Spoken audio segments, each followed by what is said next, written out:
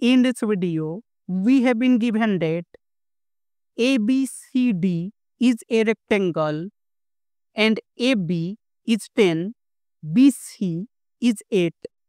Then we have to find PQ. So, we have AB is 10 and suppose the center of this semicircle is O, then AO, it will be equal to BO, that will be radius, and it will be AB over 2, and AB is 10 over 2, that will be 5. So AO is 5, BO is 5. And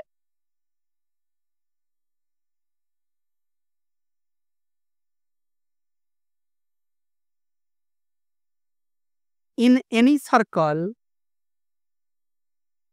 if PQ is any chord and O is the center, then from point O, if we make a perpendicular on PQ, suppose this point is M, then PM, it will be equal to QM.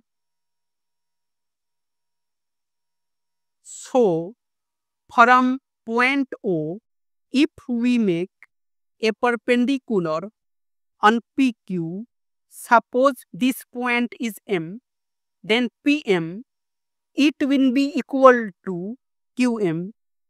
And if we join OP, then OP, it is radius, that will be 5. So OP, it is 5. And we have BC is 8. So OM, it will be BC over 2. That will be 8 over 2 and it is 4. OM, it is 4. And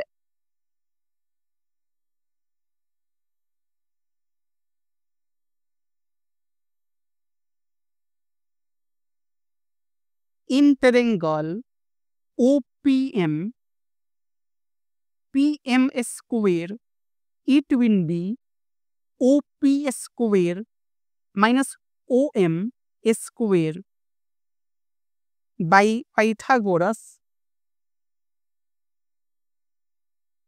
theorem.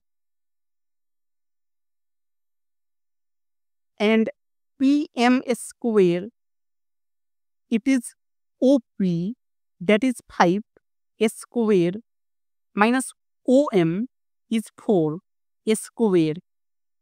And PM square it is 25 minus 16 so PM square it is 9 that means PM it is 3 so PM it is 3 that means QM it will be also 3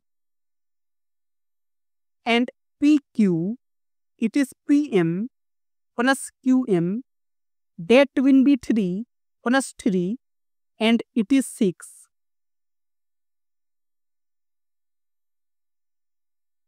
So it is 6.